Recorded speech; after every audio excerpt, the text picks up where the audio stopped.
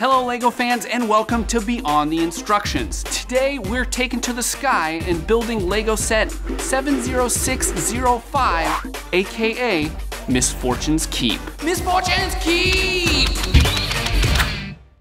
This 754 piece set is part of the LEGO Ninjago line and features the airship slash headquarters of the evil Sky Pirates. Once completed, this set includes two additional vehicles, dual firing cannons, rotating wings, detachable escape boat, and a monkey with a hammer.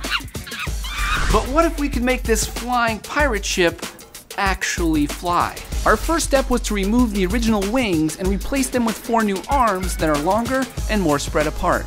To help us get off the ground, we trimmed excess weight and added some generic quadcopter parts including four motors, four controllers, and the main flight computer. Last but not least, we plugged in our battery and built some simple LEGO landing gear. I'm not gonna lie, this was a very complicated project and I'm not really sure it's gonna work, so here goes nothing. Arming, and take off. Oh, uh, uh.